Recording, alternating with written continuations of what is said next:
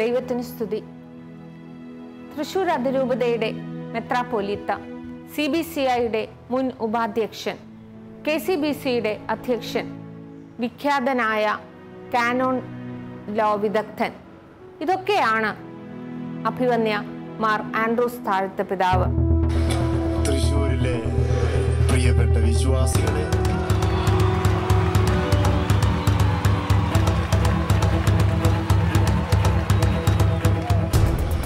ക്രൈസ്തവ സമൂഹം ഒറ്റക്കെട്ടാണ് എന്ന് രൂപതാധ്യക്ഷനോടുകൂടി ഒറ്റക്കെട്ടാണ് എന്ന് ശക്തമായി പ്രകടിപ്പിച്ച നിങ്ങൾക്ക് പ്രത്യേകിച്ച് ഇവിടുത്തെ യുവജനങ്ങൾക്ക് അന്മായ നേതാക്കൾക്ക് വൈദികർക്ക് സന്യസ്തർക്ക് വികാരിയച്ചന്മാർക്ക് വ്യക്തിപരമായ രീതിയിൽ അതിരൂപതയുടെ പേരിൽ നന്ദി പറയാനാണ് ഞാൻ ആദ്യമേ തന്നെ ആഗ്രഹിക്കുന്നത്. ഞാൻ അഭിമാനിക്കുകയാണ്. തൃശ്ശൂരിലെ ജനത തൃശ്ശൂരിലെ വിശ്വാസ ജനത ഒറ്റക്കെട്ടാണെന്ന് കാണേണ്ടവർ കണ്ടോട്ടെ എന്ന് പരസ്യമായി പ്രഖ്യാപിക്കാൻ ഞാൻ ആഗ്രഹിക്കുന്നു.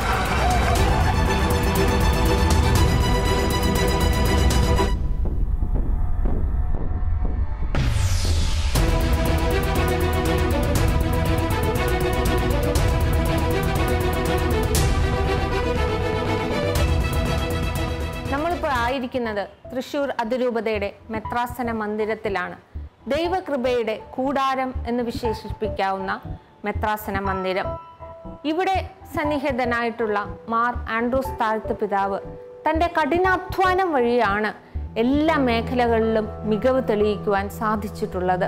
ആഴമേറിയ ആത്മീയത ചിട്ടയായ ജീവിതചര്യ പരന്ന വായനയും പഠനവും ദൈവം ദാനമായി നൽകിയിട്ടുള്ള ദീർഘദർശനവും ഓർമ്മശക്തിയും ഇങ്ങനെ പലതും പിതാവിനെ കുറിച്ച് പറയുവാൻ സാധിക്കും.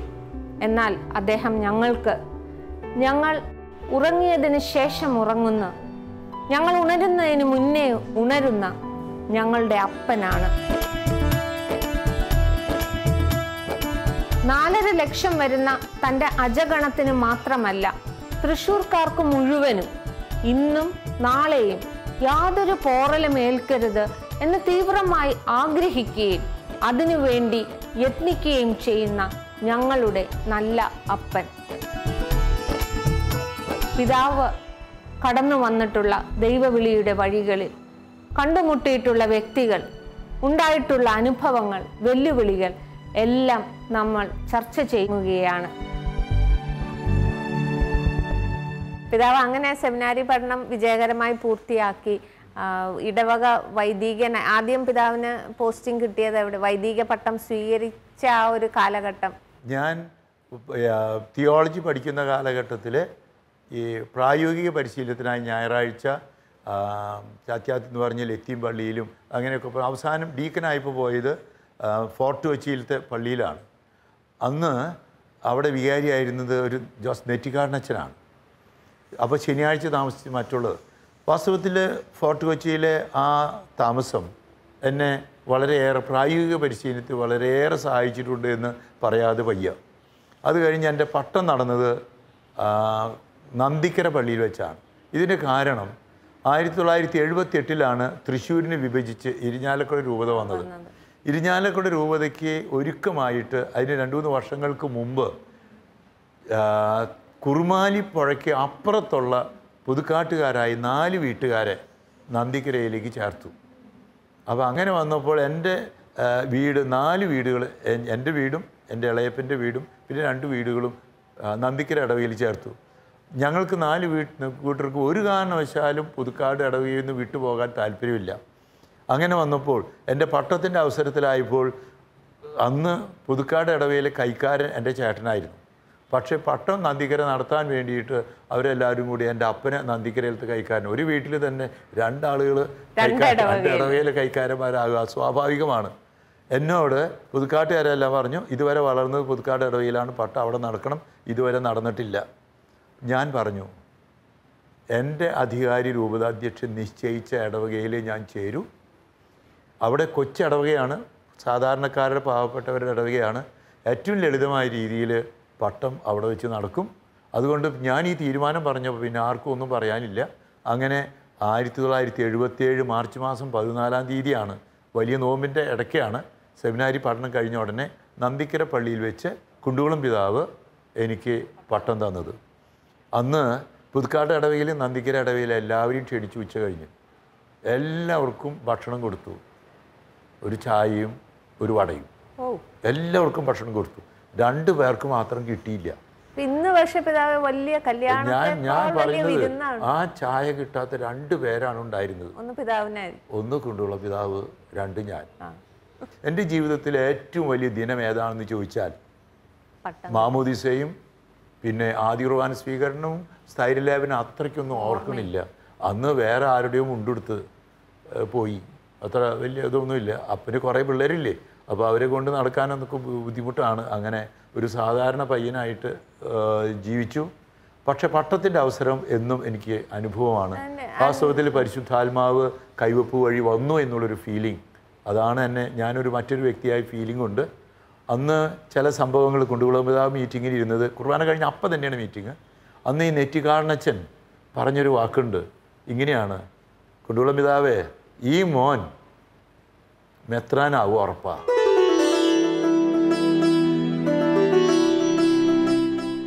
പറഞ്ഞിരുന്നു. എന്റെ പട്ടത്തിന്റെ അന്ന് പറഞ്ഞിരുന്നു. ഫോർട്ട് കൊച്ചിയിൽ വികാരിയായ ജോസഫ് നെറ്റിക്കാടനച്ചൻ അന്ന് പരസ്യം ഇതും എത്രാനാവും? ഞാനൊക്കെ ഞങ്ങളൊക്കെ അത് കളിയാക്കി തമാശയാണെന്ന് വിചാരിച്ചിരുന്നു. എന്തായാലും ആ പ്രവചനം പിന്നീട് പൂർത്തിയായി ഞാൻ ഒരിക്കലും ആഗ്രഹിച്ചിട്ടില്ല പ്രതീക്ഷിച്ചിട്ടില്ല ചിന്തിച്ചിട്ടില്ല. അതൊരു വലിയ പ്രവചനമായിരുന്നു എന്ന് തോന്നുന്നു. പിതാവിന്റെ എനിക്ക് തോന്നുന്നു സവിശേഷതകൾ അന്ന് തന്നെ അപ്പോൾ ശ്രദ്ധിക്കപ്പെട്ടിരുന്നിരിക്കാം. അതിനിടയിൽ കൂടെ ഞാൻ ചോദിക്കുകയാണ്. പിതാവ് പിതാവ് പറഞ്ഞു ഒരു ചായയും ഒരു വടയും മാത്രമാണ് അന്ന് പട്ടത്തിന് ഒരു ഭക്ഷണം. ഈ നാട്ടുകാരെ എല്ലാം വിളിച്ചിട്ടും കൊടുത്ത്. ഇപ്പോൾ ചിലപ്പോഴൊക്കെ ചില ആശങ്കകൾ ഉയരുന്നുണ്ട്. വിവാഹത്തെക്കാളേറെ ആർഭാടം പട്ടങ്ങൾക്ക് ഉണ്ടോ എന്നുള്ളത്? ഒരു കാര്യം പട്ടം അത് നന്നായി തന്നെ ആഘോഷിക്കണമെന്നാണ് പറയുന്നത്. ജനത്തിന്റെ മുഴുവൻ ഒരു ആഘോഷം. അതുകൊണ്ട് ഇടവകയാണ് ഇപ്പോൾ മിക്കവാറും സ്ഥലങ്ങളിൽ ചെയ്യുന്നത്. രണ്ട് കാരണങ്ങൾ കൊണ്ടാണ് അത് വളരെ ലളിതമായി ആഘോഷിച്ചത്. ഒന്ന് നന്ദിക്കര അടവയ്ക്ക് അത് ചെയ്യാൻ പറ്റില്ല. രണ്ട് എന്റെ വീട്ടുകാർക്ക് സാമ്പത്തികമായി അത്ര വലിയ കഴിവൊന്നുമില്ല. ഞാൻ അതിന്റെ കാരണം അപ്പച്ചനോട് അപ്പനോട് പറഞ്ഞ വാക്കാണ്. വാസ്തവത്തിൽ അപ്പനല്ല എന്റെ മൂത്ത ജ്യേഷ്ഠനാണ് കാര്യങ്ങളൊക്കെ കൈകാര്യം ചെയ്ത് ജ്യേഷ്ഠൻ അധികം താമസിയാതെ മരിച്ചുപോയി ഒരു അപകടത്തിൽ. പറഞ്ഞ കാര്യമാണ് എന്റെ പട്ടം കൊണ്ട് എന്റെ വീട്ടുകാർ ബുദ്ധിമുട്ടാൻ പാടില്ല. അതുകൊണ്ട് ഏറ്റവും ചെറിയ രീതിയിൽ നടത്തണം. അന്ന് പത്തായിരം രൂപയ്ക്കൊക്കെ ചിലവ് കഴിഞ്ഞെന്ന് എനിക്ക് തോന്നണേ. ഏറ്റവും ചെറിയ രീതിയിൽ നടത്തണമെന്ന് എനിക്കും എന്നോടൊപ്പം എന്റെ മൂത്ത ജ്യേഷ്ഠനും അത് തന്നെയായിരുന്നു നിർബന്ധം. പിന്നെ മറ്റ് പ്രാക്ടിക്കലി എന്റെ മൂത്ത ജ്യേഷ്ഠൻ ഞാൻ തന്നെയാണ് അന്ന് തീരുമാനങ്ങൾ എടുത്തത്. അതുകൊണ്ടാണ് അങ്ങനെ. മറ്റുള്ളവർ ആർക്കും അതിൽ സ്വാധീനമില്ല എന്ന് പറഞ്ഞാൽ ലളിതമായി നട ആർഭാടങ്ങൾ ഒഴിവാക്കണം. പക്ഷേ അത്യാവശ്യമായ ആഘോഷങ്ങൾ ഉണ്ടാകുകയും വേണം. ഓക്കെ പിതാവ്. പിതാവ് പറഞ്ഞു ആ കൈവെപ്പ് കിട്ടിയ ദിവസം പിതാവ് മറ്റൊരു വ്യക്തിയായി മാറുകയായിരുന്നു. അപ്പോൾ ഒരു എപ്പിസോഡ് പിതാവിന്റെ ജീവിതത്തിൽ കഴിയായതുകൊണ്ട് ഞാൻ അവിടെ ആ കുടുംബത്തിന്റെ ഒരു ചോദ്യം കൂടെ ചോദിച്ച് നിർത്തുകയായി.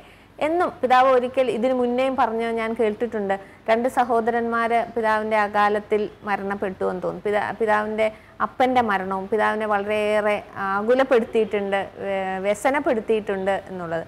എനിക്ക് തോന്നുന്നു ഏത് എങ്ങനെയാണ് ഈ കുടുംബവുമായിട്ടുള്ള ദൈവവിളി സ്വീകരിച്ചവരെ ഒരു ബന്ധം ഉണ്ടാകേണ്ടത്?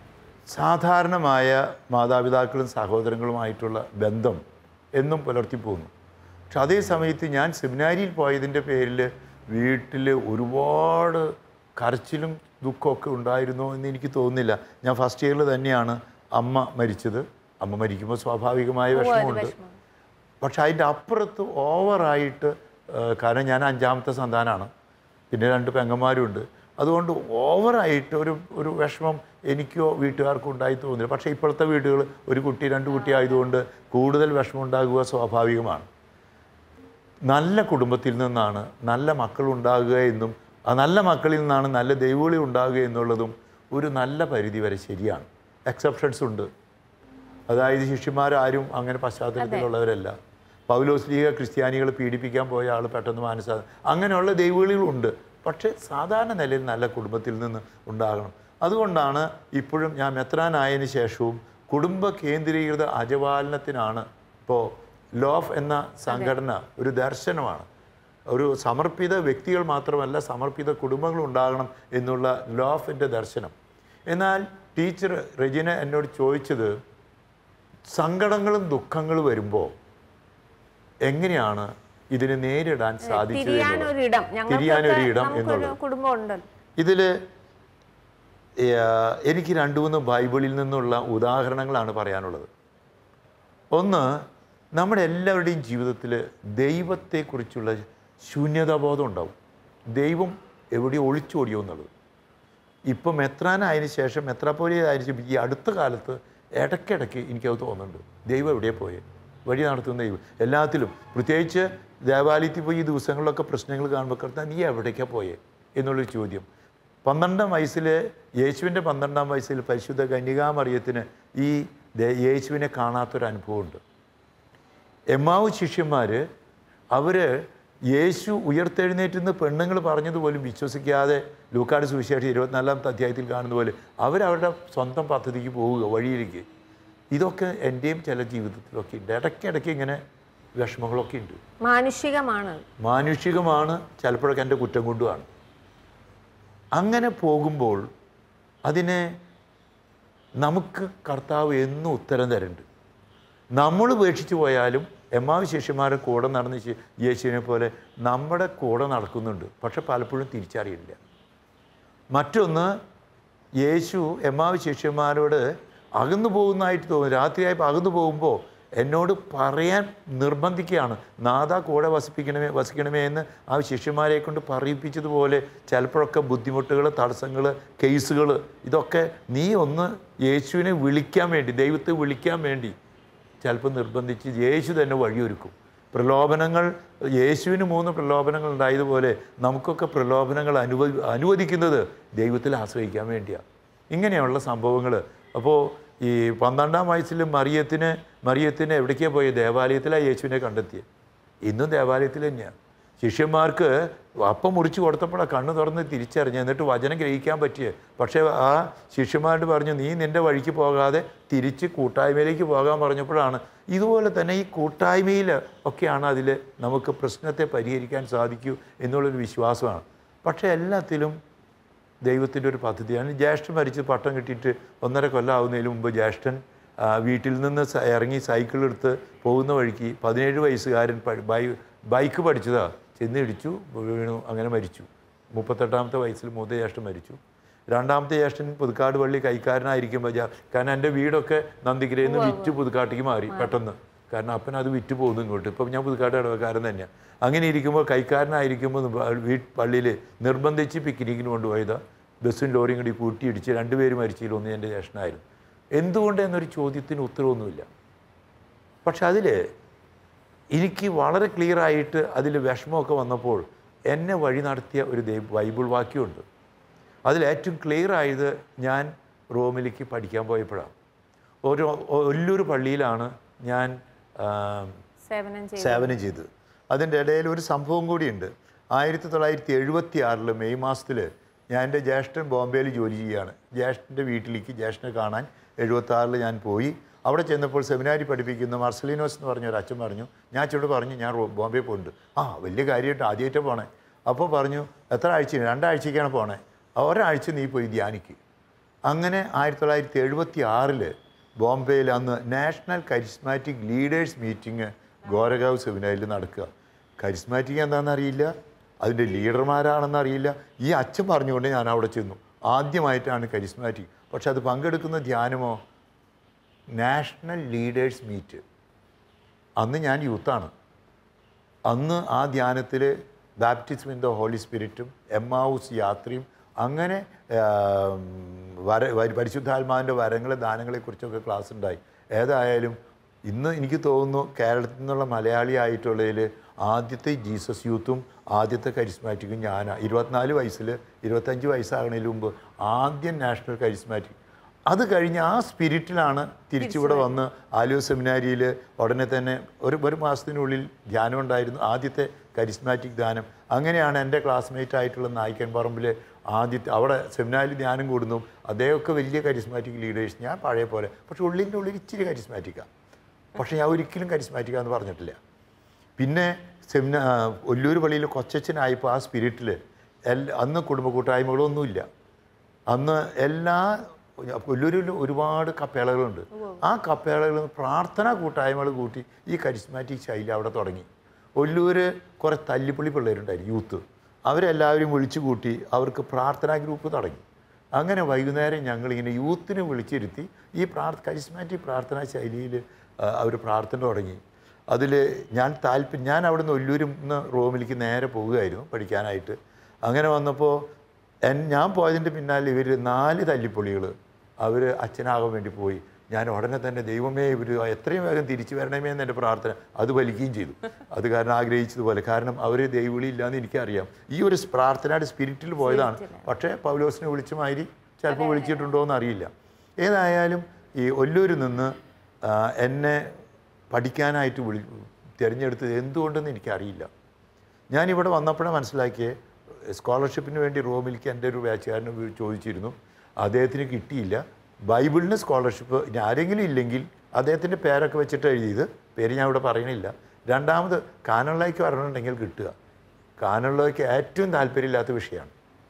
ഒരു ദിവസം ജോർജ് ചിറ്റിലപ്പള്ളി ചിറ്റിലപ്പള്ളി പിതാവിന്റെ ജ്യേഷ്ഠനാണ് വികാരിച്ചൻ ഒരു നല്ല വികാരിച്ചനാണ് കേട്ടോ. അച്ഛൻ എന്നോട് പറഞ്ഞു തന്നെ പിതാവ് വിളിക്കുന്നുണ്ട്. കുടുകുളം പിതാവാണ്. കുടുകുളം പിതാവ് ആരാന്തിയിൽ ഇങ്ങനെ ഇരിക്കണ്ടാവും. ഞാനിങ്ങനെ പേടിച്ച് ഞാൻ വിചാരിച്ച് പറഞ്ഞാൽ എന്താ ഞാൻ വല്ല വല്ല കുഴപ്പമൊപ്പിച്ച് എന്താ പിതാവ് വിളിക്കുക അന്നൊക്കെ അച്ഛന്മാർക്ക് പേടിയൊക്കെ ഉണ്ടായിരുന്നു കേട്ടോ. ഇന്നിപ്പോൾ പേടിയൊന്നും ഇല്ല. എന്നാലും ഞാൻ പേടിച്ചു. പിതാവ് അപ്പോൾ വിചാരിച്ച് പറഞ്ഞു താൻ ചെല്ല് പേടിക്കൊന്നും വേണ്ട കുഴപ്പത്തിനല്ല. പിതാവിന്റെ അടുത്ത് വന്നു. പിതാവിന് ഞാൻ ചെന്നിങ്ങനെ കൈകൂപ്പി. പിതാവിന് എന്നെ മനസ്സിലായില്ല. അപ്പോൾ ചോദിച്ചു എന്താ വന്നേ? പിതാവ് എന്നെ വിളിച്ചെന്ന് പറഞ്ഞു. "ആ, വിളിച്ചിട്ടുണ്ടാ? എന്നാൽ താഴെ കച്ചേരി ചെല്ല്. കച്ചേരി അപ്പോൾ പിതാവിനെ എന്തിനാന്ന് എന്നെ മനസ്സിലായില്ല എന്തിനെ വിളിച്ചെന്ന് പറഞ്ഞു താഴെ കച്ചേരി ചെന്നപ്പോൾ അവിടെ ജോൺ മാളിയേക്കൽ എന്ന് പറഞ്ഞാൽ ഇപ്പോൾ ഇരിഞ്ഞാലക്കുടക്കാരനാണ് വികാരി ജനറാൾ പോൾ ചിറ്റിലപ്പള്ളി അതേ ഇപ്പോഴത്തെ പിതാവാണ് ചാൻസലർ. അവർ രണ്ടുപേരും ഇരിക്കുന്നുണ്ട്. ഉടനെ തന്നെ പറഞ്ഞു തന്നെ പഠിക്കാനായിട്ട് വിടുക. ഭർത്താവ് അച്ഛ എന്താ ആ തനിക്ക് വിളിക്കാനുള്ളത് കാനണല്ലോ അപ്പോൾ പറഞ്ഞ് എനിക്ക് എന്താ കാനണല്ലോ അറിയില്ല. അന്ന് ബൈബിൾ പഠിക്കൽ മാത്രമേ വിഷയമുള്ളൂ കേട്ടോ. ബൈബിളാണെങ്കിൽ അല്ല തന്നോട് പറഞ്ഞിരുന്നു. ഉടനെ തന്നെ മാളിയക്കലച്ചൻ പറഞ്ഞു അന്ന് ഇരിഞ്ഞാലക്കുടയിൽ പോയി തിരിഞ്ഞിട്ടില്ല തിരിഞ്ഞിന്റെ ഒരുക്കമാണ് ഉടനെ പറഞ്ഞു തന്നെ ഇരിഞ്ഞാലക്കുട രൂപതയ്ക്ക് വെച്ചിട്ടാണ് തീരുമാനിക്കുക. കാരണം നന്ദിക്കരി ഇരിഞ്ഞാലക്കുടയാണല്ലോ. ചിറ്റപ്പള്ളി പിതാവ് ഉടനെ തന്നെ പറഞ്ഞു അല്ല താനിപ്പോൾ തൃശ്ശൂരല്ലേ ചേരണേ? അതുകൊണ്ട് തൃശ്ശൂർ രൂപതയ്ക്കാണ്. ഞാൻ അങ്ങനെ പറഞ്ഞു. അപ്പോഴേക്ക് ഒരാഴ്ചക്കുള്ളിൽ പഴയാറ്റിൽ പിതാവിന് ഇരിഞ്ഞാലക്കുട ബിഷപ്പായിട്ട് നോമിനേഷനായി. അപ്പോൾ ഉടനെ തന്നെ എനിക്ക് എവിടേക്കാണ് പോകേണ്ടത് ഏതാ എടുക്കേണ്ടതെന്ന് അറിയില്ല. അപ്പോൾ രൂപത തിരിയാണ്. ഉടനെ തന്നെ ഇരിഞ്ഞാലക്കുട പിതാവിന്റെ അടുത്ത് അരമനെ വന്ന് ചോദിച്ചു ഇങ്ങനെ ഒരച്ഛൻ ഈ തൃശ്ശൂരിന് വേണ്ടിയായിരുന്നു. വേറൊരച്ഛൻ ഇരിഞ്ഞാലക്കുടയ്ക്ക് വേണ്ടിയാണ് ഞാൻ എന്താ ചെയ്യേണ്ടത് ഇരിഞ്ഞാലക്കുട രൂപത അദ്ദേഹം പ്രഖ്യാപിച്ചു. അപ്പോൾ മെത്രാനായിട്ടില്ല. അപ്പോൾ ഉടനെ തന്നെ പഴയാറ്റ് പിതാവ് പറഞ്ഞു ഒരു കാര്യം ചെയ്യും. താൻ പള്ളിയിൽ പോയിട്ട് പ്രാർത്ഥിച്ചിട്ട്. എവിടേക്കാണ് ചേരേണ്ടതെന്ന് വെച്ചാൽ അവിടെ ചേരും. ഞാൻ പ്രാർത്ഥിച്ചു. എന്തായാലും എന്റെ വീട് പുതുക്കാട്ടേക്ക് മാറും. വിൽക്കാൻ തീരുമാനിച്ചു. ആ നിലയ്ക്ക് ഞാൻ തൃശ്ശൂർ ചേരുന്നു. അങ്ങനെ അല്ലായിരുന്നെങ്കിൽ ഞാൻ ഇരിഞ്ഞാലക്കുട ഏതെങ്കിലും പള്ളിയിൽ ഉണ്ടായിരുന്നേനിപ്പോൾ ഇതാണ് അതിന്റെ ചരിത്രം. റോമിൽ ചെന്ന് ഞാനിങ്ങനെ പഠിച്ചുകൊണ്ടിരിക്കുമ്പോൾ ഇറ്റാലിയനൊന്നും അറിയില്ല. എന്നാലും പിന്നെ താമസിയാതെ ഒരു മറ്റേ ഭാഷകൾ അറിയാതെയാണോ ഇവിടുന്ന് പോയത്? അതായത് ഓഗസ്റ്റ് മാസത്തിലാണ് എന്നെ അറിയിക്കുന്നത് ഓഗസ്റ്റോ ജൂൺ ജൂലൈ കൃത്യം ഞാൻ ഓർക്കുന്നില്ല. സെപ്റ്റംബർ ഇരുപത്തിനാല് വരെ മറ്റോ പള്ളിയിലായിരുന്നു. രണ്ട് ദിവസം വീട്ടിൽ പോകോളാൻ പറഞ്ഞു. തിരിച്ച് പള്ളി വന്നു. പള്ളിയിൽ നിന്ന് നേരെ ട്രെയിൻ കയറി ബോംബെക്ക് പോയി. ബോംബെ നിന്ന് ആലിത്താലയിലേക്ക് റോമിലേക്ക് പോയി. ഞാൻ ഇറ്റാലിയൻ അവിടെ ചെന്നിട്ട് ഇറ്റലിയിൽ ചെന്നപ്പോഴാണ് ആദ്യമായിട്ട് തന്നെ ഇറ്റാലി വാക്ക് കേൾക്കണേ. ചെന്ന ചെന്നതിന്റെ അന്ന് തന്നെ ഉച്ച കഴിഞ്ഞ് ഞാൻ വത്തിക്കാൻ വറ്റിക്കാനിലേക്ക് പോയി മറ്റു കൂട്ടർ. കാരണം ജോൺ പോൾ ഒന്നാമൻ മാർപ്പാപ്പ ആ ദിവസങ്ങളിൽ മരിച്ചിരുന്നു മരിച്ചു കിടക്കുകയാണ്. വറ്റിക്കാനിൽ കിടത്തിയിരിക്കുന്ന ജോൺ പോൾ ഒന്നാമൻ മാർപ്പാപ്പേനെ ഞാൻ ആദ്യമായിട്ട് വറ്റിക്കാനിൽ പോയി ജോൺ പോൾ ഒന്നാമൻ മാർപ്പാപ്പയെ കാണുകയും അത് കഴിഞ്ഞ് മൃതസംസ്കാരത്തിൽ പങ്കെടുക്കുകയും. പിന്നീട് ജോൺ പോൾ രണ്ടാമന്റെ തിരഞ്ഞെടുപ്പിന് വെള്ളപ്പൊക്കെ കാണുകയൊക്കെ ചെയ്തു. അത് ഒരു വലിയ അനുഭവമാണ്. ജോൺ പോൾ രണ്ടാമൻ മാർപ്പാപ്പയെ എനിക്ക് വലിയ വലിയ ഒരു വലിയൊരു അടുപ്പമുണ്ട്.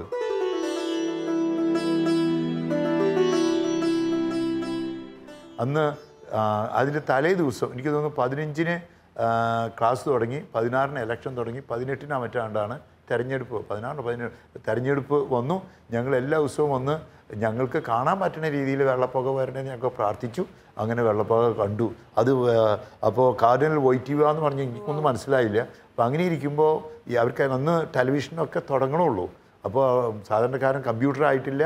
ഫോട്ടോ കോപ്പി മെഷീൻ തുടങ്ങണുള്ളൂ ആ കാലഘട്ടത്തിൽ. അങ്ങനെ ഇരിക്കുമ്പോൾ പറയുന്നത് ഒരാൾ അവിടെ ഇരുന്ന് തെറി പറയുന്നു. ഞാൻ ചോദിച്ചത് എന്തായി പറയുന്നത് ചോദിച്ചപ്പോൾ അവർ തെറിയാണ്. ഇറ്റലിക്കാരനല്ലാത്ത റോമക്കാരനല്ലാത്ത ഒരാൾ റോമിന്റെ മെത്രാനാക്കുമോ ഇപ്പോൾ ഈ ഇങ്ങനെ കുറേ തടസ്സങ്ങളൊക്കെ ഉണ്ട് സ്വന്തം നാട്ടിലത്തെ മെത്രാൻ. അവിടെ അന്ന് അതൊക്കെ ഉണ്ടായിരുന്നു. അവർ പറഞ്ഞു ഞങ്ങൾ ഞങ്ങളുടെ നാട്ടുകാർ സഭയുടെ എന്നും കുറേശ്ശേക്കുണ്ട് കുറേശ്ശൊക്കെ ഉണ്ട്. ഇത് റോമക്കാരനല്ലാത്ത ഇറ്റലിക്കാരനാണ് എന്ന് പറഞ്ഞിട്ട് ഇങ്ങനെ ചൂടാവുകയാണ്. ഞങ്ങളവിടെ എന്റെ കുറച്ച് ഇറ്റലിക്കാരൻ അവർ ബഹളം വയ്ക്കുന്നത് കണ്ടു നമ്മളിതൊക്കെ കണ്ടു. കുറച്ച് നേരം കഴിഞ്ഞപ്പോൾ മാർപ്പാപ്പ വെള്ള വസ്ത്രമൊക്കെ ധരിച്ച് ഇങ്ങോട്ട് വന്ന് അവിടെ ബാൽക്കണിയിൽ വന്ന് അപ്പോൾ അതിന് മുമ്പ് ഹബേമൂസ് പാപ്പ നമുക്ക് മാർപ്പാപ്പ ഉണ്ടായിരിക്കും ഇതൊക്കെ പറഞ്ഞു. ജോൺ പോൾ രണ്ടാമൻ മാർപ്പാപ്പ പുതിയ പേരൊക്കെ എടുത്തു പോയിട്ടിപ്പോൾ വന്ന് ആദ്യം തന്നെ തുടങ്ങിയത് ശലദാത്ത് ജസു ക്രിസ്തോ ഈശോ മിശിയായിക്ക് സ്തുതിയായിരിക്കട്ടെ. ഇറ്റാലിയനിൽ പറഞ്ഞ് പിന്നെ ഇറ്റാലിയൻ ഫ്ലുവന്റ് ആയിട്ട് പറഞ്ഞപ്പോൾ ഈ കൂടെ നിൽക്കുന്ന മനുഷ്യരൊക്കെ ഏയ് നമ്മുടെ പാപ്പയാ ഇറ്റാലിയൻ അറിയാം നമ്മുടെ സ്വന്താ. പിന്നെ പറഞ്ഞതോട് ആദ്യത്തെ ടോക്കോട് കൂടി തന്നെ അവരൊക്കെ സ്വന്തമായിട്ട് സ്വീകരിച്ചു. അതെനിക്ക് തോന്നുന്നു ഒരു അതൊരു നമുക്കും ഒരു സൂചനയാണ് എങ്ങനെയാണ് നമ്മൾ ഒരു കമ്മ്യൂണിറ്റി ആയിട്ട് ഇഴകി ചേരുക എന്നുള്ളത്. ദൈവം തിരഞ്ഞെടുത്ത് തരുന്നവനെ സ്വീകരിക്കുമ്പോൾ മാത്രമേ ദൈവാനുഗ്രഹം ഉണ്ടാവൂ. ഉണ്ടാവുള്ളൂ. അതുകൊണ്ട് ഇന്ന അച്ഛനെ ഞങ്ങൾക്ക് വേണം ഇന്ന മെത്രാനെ വേണമെന്ന് പ്രാദേശിക ഭാഗത്തോട് പറയുന്നത് ഒരു കാരണവശാലും ശരിയല്ല. കത്തോലിക്ക സഭയിൽ കത്തോലിക്ക സഭയിൽ ഇല്ല ശരിയല്ല പിതാവ് ജോൺ പോൾ രണ്ടാമൻ മാർപ്പാപ്പനല്ലേ പിതാവിനെ മെത്രാനാക്കി. ഡിക്ലെയർ ചെയ്തത്. ജോൺ പോൾ രണ്ടാമൻ മാർപ്പാപ്പ കേരളത്തിൽ വന്നപ്പോഴും തൃശ്ശൂർ വന്നപ്പോഴും എനിക്ക് തോന്നുന്നു അതിന്റെ മുഖ്യ സംഘാടകനായി പിതാവിന് ഉണ്ടാകാനും സാധിച്ചു എന്നുള്ള ഫോട്ടോയിലൊക്കെ തന്നെ പാപ്പയോടൊപ്പം നിൽക്കാൻ മൂന്ന് മാർപ്പാപ്പന്മാർ എനിക്ക് തോന്നുന്നു പിതാവിന്റെ ഈ മെത്രാൻ എന്നുള്ള പദവിയിലിരിക്കും. ജോൺ പോൾ രണ്ടാമൻ മാർപ്പാപ്പ ബെനഡിക്റ്റ് പാപ്പ ഫ്രാൻസിസ് പാപ്പയോടൊപ്പം പിതാവ് ഉലാത്തുന്ന ഫോട്ടോകളൊക്കെയാണ് ഞങ്ങൾ കഴിഞ്ഞ വർഷം മീഡിയയിൽ കണ്ടത്.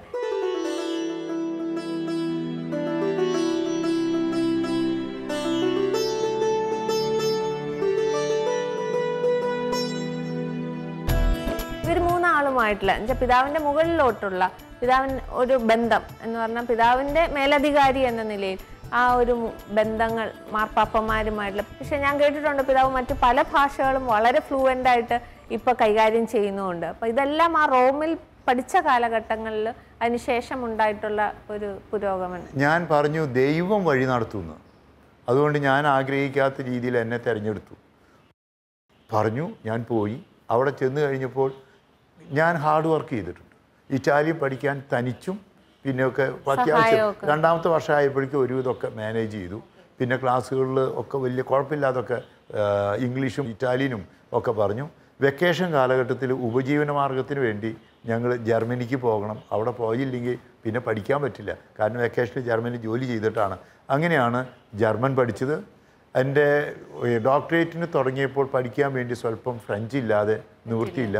അതുകൊണ്ട് വായിക്കാനും ഉള്ള പ്രായ പരിജ്ഞാനമെങ്കിലും കിട്ടാൻ വേണ്ടി പാരീസിൽ പോയി ഒരു മാസത്തെ കോഴ്സ് ഫ്രഞ്ച് കോഴ്സ് എടുത്തു. അപ്പോൾ അതുകൊണ്ട് പിന്നെ കാനുള്ളവയ്ക്ക് സ്വല്പം ലാറ്റിന്റെ ബേസ് അറിയണം. അങ്ങനെയുള്ള ലാംഗ്വേജുകൾ ആ കാലഘട്ടത്തിൽ വലിയ വിദഗ്ധനല്ലെങ്കിലും മാനേജ് ചെയ്യാൻ പറ്റും. കുറച്ച് തൃശ്ശൂർ രൂപതയുടെ വളർച്ചയ്ക്കും അതിന് വേണ്ട ഒരു ബാക്ക്ഗ്രൗണ്ട് ഒക്കെ കിട്ടുന്നതിന് വേണ്ടിയിട്ട് പിതാവിന്റെ ഈ പല ഭാഷയിലുള്ള വൈദഗ്ധ്യം ഞങ്ങളെ സഹായിച്ചിട്ടുണ്ടെന്ന് ഞങ്ങൾക്ക് വൈദഗ്ധ്യം ഭാഷകളിൽ ഉപയോഗിച്ചില്ലെങ്കിൽ ഞാൻ ഡോക്ടറേറ്റ് നേടി പോരില്ല. കാരണം അത് അത്യാവശ്യമാണ് പഠനത്തിന്. ആ അവസരത്തിൽ ഞാനിപ്പം തന്നെ ഓർക്കുന്നു പിതാക്കന്മാരുടെ മാർപ്പാപ്പന്മാരുടെ കാര്യത്തിലേക്ക് അടക്കുന്നതിന് മുമ്പ് നേരത്തെ ചോദിച്ച് ചോദിച്ചിട്ട് ഒരു ഉത്തരവാണ്. എങ്ങനെയാണ് വിഷമങ്ങളൊക്കെ സഹിച്ചത് തേർഡ് ഇയർ ആയപ്പോൾ ഞാൻ ആർക്കൈവൽ സ്റ്റഡി ആയിരുന്നു. വറ്റിക്കാന്റെ പ്രൊപ്പഗാദ ഫീഡയുടെ ഓറിയന്റൽ കോൺഗ്രിഗേഷന്റെ ഒക്കെ ആർക്കൈവ്സ് ഈ പഴയത് വായിക്കാൻ തുടങ്ങി. എന്റെ പഠന വിഷയമായിരുന്നത് പണ്ട് കാനലോയുടെ സീറോ മലബാർ സഭയുടെ കാനൂനിക സ്രോതസ്സുകളെക്കുറിച്ച് എറണാകുളത്തുള്ള ഒരു പഞ്ഞിക്കാരൻ പഠനം ആരംഭിച്ചെങ്കിലും അത് പൂർത്തിയാക്കിയില്ല. മലങ്കര സഭയെക്കുറിച്ച് പ്ലാസ്റ്റിറ്റച്ചും പഠിച്ചു. സീറോ മലബാർ സഭയുടെ കാനോനിക സോഴ്സുകളെക്കുറിച്ച് ആരും പഠിച്ചിട്ടില്ല. അത് എന്നോട് പഠിക്കുന്ന നല്ലതാണെന്ന് പറഞ്ഞാൽ അത് എന്തൊക്കെയാണ് കാനോണിൽ എങ്ങനെയൊക്കെയാണ് രൂപപ്പെട്ടു വന്ന് അതിന്റെ സോഴ്സുകൾ എന്താണ് അത് വിഷയമാക്കിയപ്പോൾ മുഴുവൻ ഇതിരുന്ന് തിരയണം. അങ്ങനെ ഇരിഞ്ഞപ്പോൾ എനിക്കൊരു മാനസികമായ ഈ ഒറ്റയ്ക്ക് പഠിച്ചപ്പോൾ വിഭ്രാന്തി ഉണ്ടായി. എന്ന് പറഞ്ഞു കഴിഞ്ഞാൽ മടുത്തു.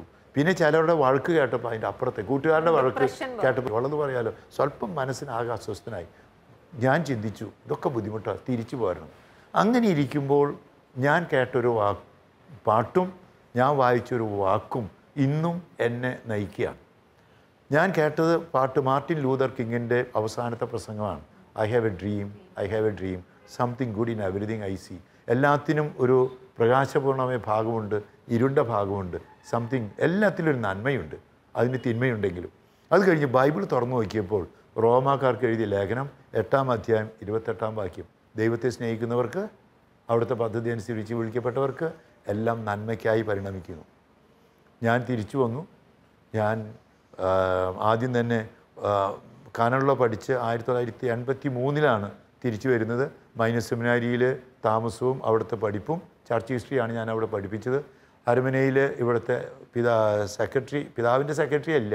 അന്ന് ഇവിടുത്തെ കാര്യങ്ങൾ നോക്കാൻ ലൈബ്രറി നോക്കാൻ നോട്ടറി ട്രൈബ്യൂണൽ നോട്ടറി ആയിട്ട് തുടങ്ങി. അങ്ങനെ ഇവിടെ ആരംഭിച്ചു അപ്പോൾ എൺപത്തി മൂന്ന് തുടങ്ങി എൺപത്തഞ്ച് വരെ സെമിനാരിയിലും ഇവിടെയുമായി എൺപത്തി അഞ്ചിൽ രൂപത സെക്രട്ടറി വൈസ് ചാൻസലർ നോട്ടറി ആയിട്ട് വീണ്ടും തുടർന്നു. അന്ന് ഇവിടെ വന്നു. അതിന്റെ ഇടയിൽ എൺപത്തി അഞ്ചിൽ എന്റെ ജ്യേഷ്ഠൻ രണ്ടാമത്തെ ജ്യേഷ്ഠൻ അപകടത്തിൽ മരിക്കുന്നു. പിന്നെ അത് കഴിഞ്ഞ് ഇവിടെ മാർപ്പാപ്പയുടെ വരവും മറ്റ് എൺപത്തി ആറ് അങ്ങനെയുള്ളതൊക്കെ ഉണ്ടായി. ഇവിടുത്തെ പ്രവർത്തനങ്ങളിൽ ഏർപ്പെട്ടു. എൺപത്തി ഒമ്പതിൽ എന്റെ അപ്പം മരിച്ചു. ഈ കാലഘട്ടത്തിൽ ഇന്നും ഒത്തിരി സന്ത സന്തോഷമുണ്ട് ദുഃഖങ്ങളുമുണ്ട്. സഹനങ്ങൾ ഒരുപാട് വരുന്നുണ്ട്. ഇത് എനിക്ക് ബെനഡിക്റ്റ് മാർപ്പാപ്പ തന്ന കുരിശാണ്. ജോൺ പോൾ രണ്ടാമൻ മാർപ്പാപ്പ തന്ന കുരിശ് അവിടെയുണ്ട്. മിക്കവാറും ദിവസവും എല്ലാ സ്ഥലത്തു നിന്നും കുരിശുകൾ കൊണ്ടുവരുന്നുണ്ട്. പക്ഷേ മത്താരി സുവിശേഷം പതിനാറ് ഇരുപത്തിനാലിൽ പറയുന്നത് എന്നെ അനുഗമിക്കാൻ ആഗ്രഹിക്കുന്നവൻ സ്വയം പരിത്യജിച്ച് അനുദിന ജീവിതത്തിൽ കുരിശെടുത്ത് എന്റെ പിന്നാലെ വരട്ടെ. കുരിശില്ലാതെ ജീവിതമില്ല. സഹിക്കാതെ വിജയിക്കാനാവില്ല.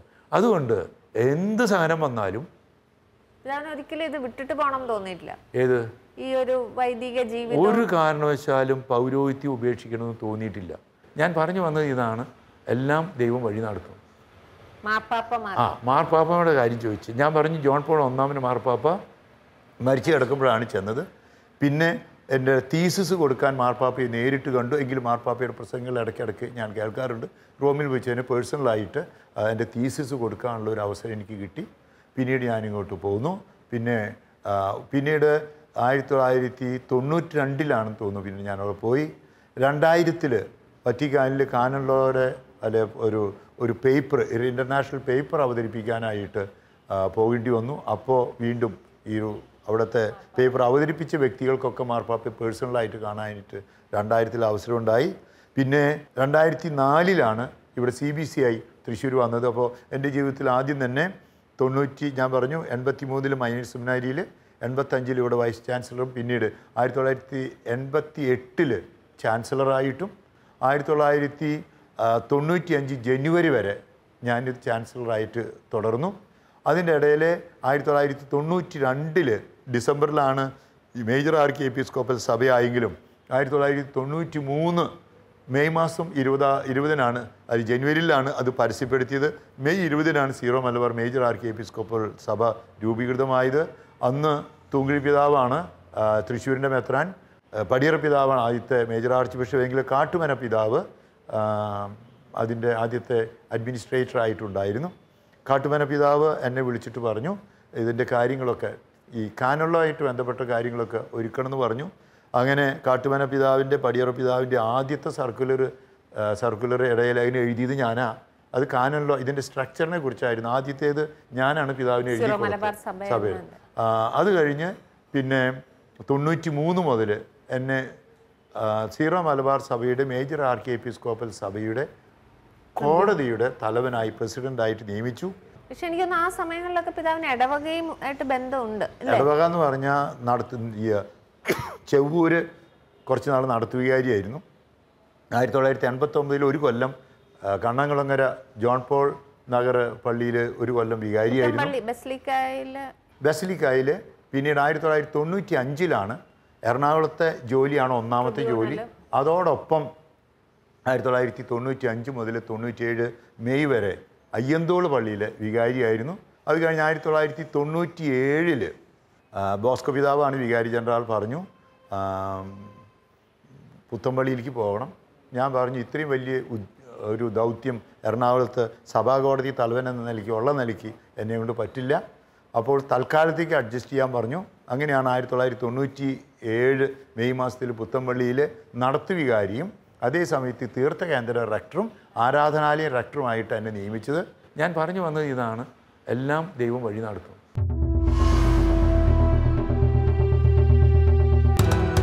ഇവിടുത്തെ ക്രൈസ്തവ സമൂഹം എന്നും രാഷ്ട്രത്തോട് പ്രതിബദ്ധതയോടെ പ്രവർത്തിച്ചിട്ടുള്ളതാണ്. നൂറ് കോടിയിലധികമുള്ള ഭാരതത്തിൽ വെറും രണ്ടേ പോയിന്റ് മൂന്ന് ശതമാനം മാത്രമാണ് ക്രൈസ്തവർ. പക്ഷേ എന്നും രാഷ്ട്രത്തോട് പ്രതിബദ്ധതയുണ്ടായിരുന്ന ഈ ക്രൈസ്തവരാണ് ഭാരതത്തിലെ മുപ്പത് ശതമാനത്തോളം എയ്ഡ്സ് രോഗികളെ പരിചരിക്കുന്നത് നമ്മുടെ തൃശ്ശൂരും പരിചരിക്കുന്നത് രണ്ടേ പോയിന്റ് മൂന്ന് ശതമാനമാണ് ഭാരതത്തിലെ ഇരുപത് ശതമാനത്തോളം അനാഥരം കാത്തുപരിപാലിക്കുന്നത് അതിന് അഭിമാനമേയുള്ളൂ പതിനെട്ട് ശതമാനത്തോളം എലിമെന്ററി സ്കൂൾ പാവപ്പെട്ടവർക്ക് വിദ്യ നൽകുന്നത് ഈ സമൂഹമാണ്. അഭിമാനമേയുള്ളൂ ഇങ്ങനെ പാവപ്പെട്ടവരോട് കൂടെ നിൽക്കുന്നതിൽ സഭയെ നശിപ്പിക്കാൻ നോക്കിയാൽ ഞങ്ങൾ അതിന് തയ്യാറല്ല.